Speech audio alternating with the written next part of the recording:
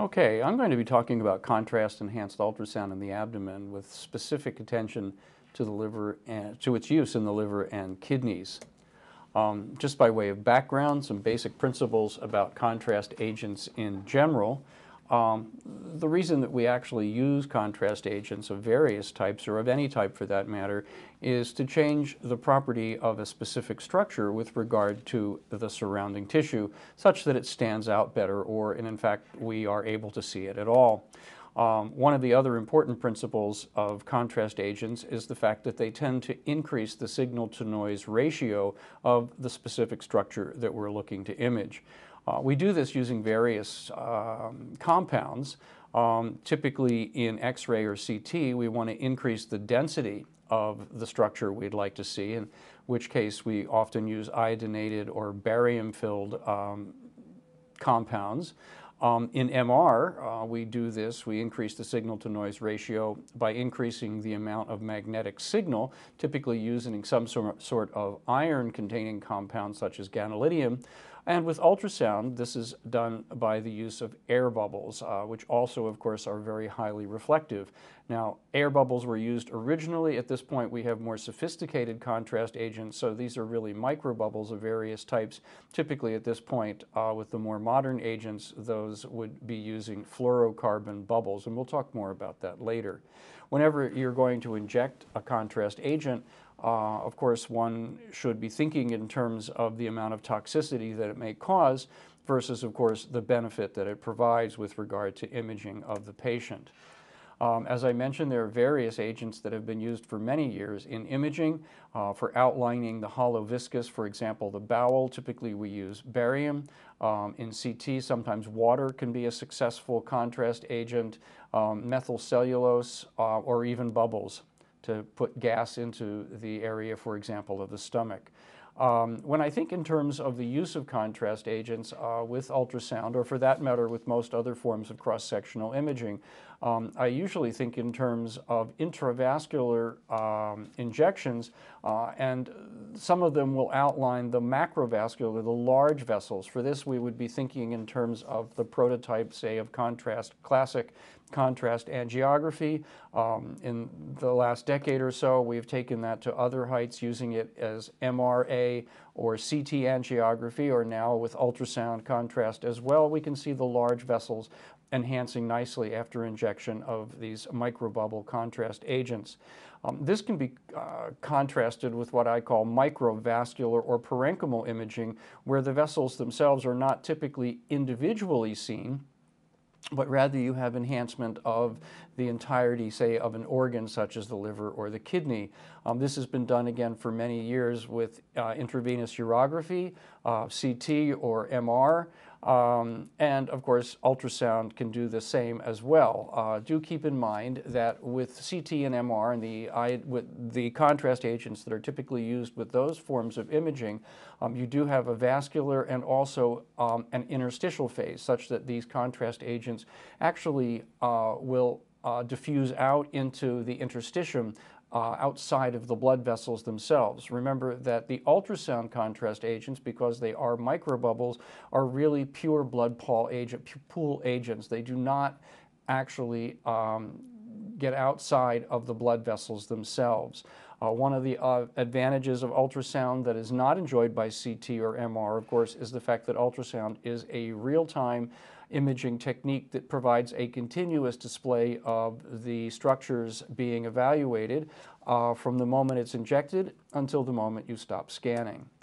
Um, some basic physics about contrast ultrasound. As I mentioned earlier, gas or air of any kind is a strong sound reflector when it comes to the body because it's extremely diff different from the tissues of the body itself. So again, we're increasing the backscatter or the amount of signal going back to the transducer from areas that have high concentration of these microbubbles.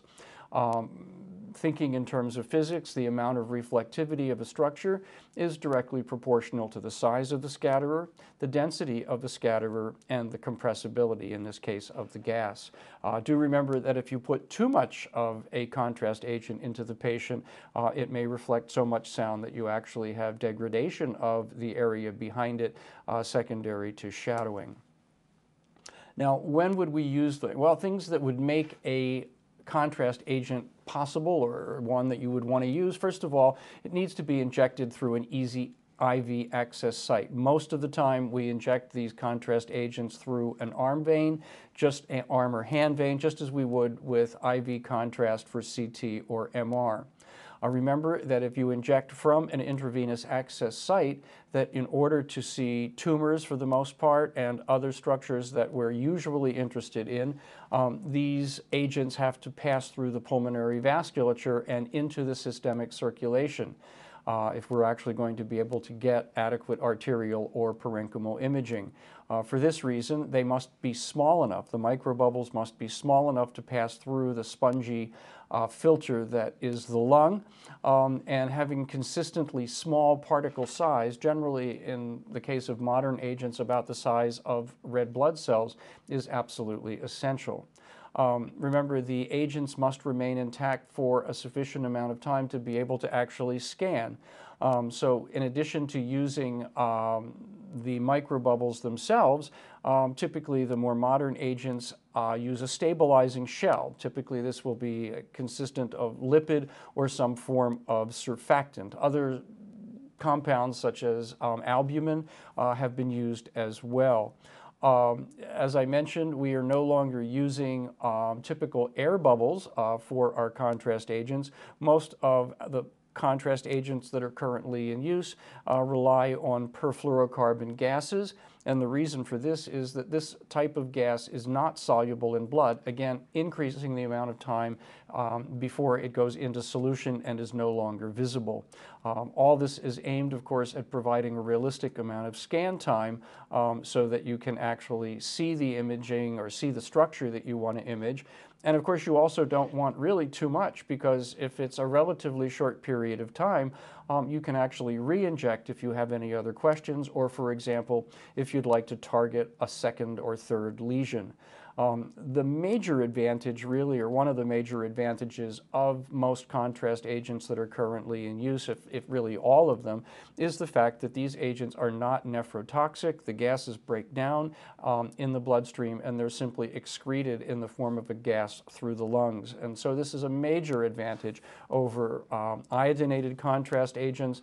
And to date, millions of these scans have been performed around the world. And uh, again, there's no obvious evidence or no evidence to suggest that there may be a problem as occurred with MR contrast where uh, systemic sclerosis became uh, a possible complication of injecting these contrast agents. Um, although these are not approved in the United States for use outside of the heart, which is not a subject I want to go into, but hopefully will end soon and be more readily available or more readily usable in the United States, um, one can get reimbursed for these by most insurance uh, companies, and in fact there is even a specific code that we use, which is Q9957. Um, at this point, there have been a number of contrast agents on the market. Many of them have gone by the wayside.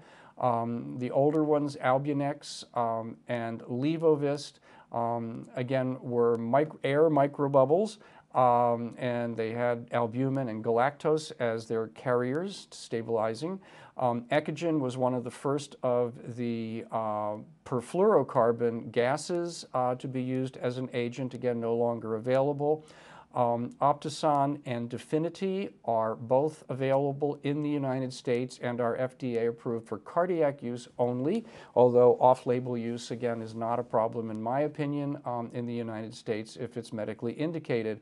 Optison, again, uses albumin. Uh, Definity uses a lipid surfactant uh, stabilizer or carrier.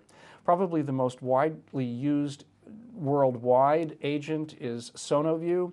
Um, again, this is a sulfur hexafluoride compound using lipid and surfactant. Again, um, the idea of the sulfur hexafluoride, the fluoride compounds are not soluble in blood and therefore um, maintain stability of the agent.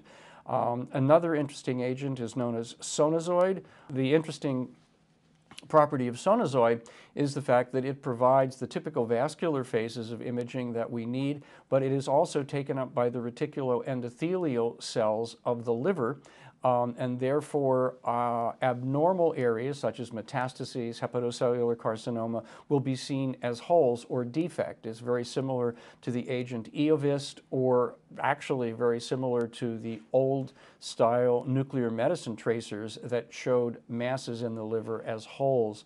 Um, this agent at this point is available in Japan only. Uh, we were hoping there may be some trials beginning in the US, but unfortunately this does not seem to have occurred.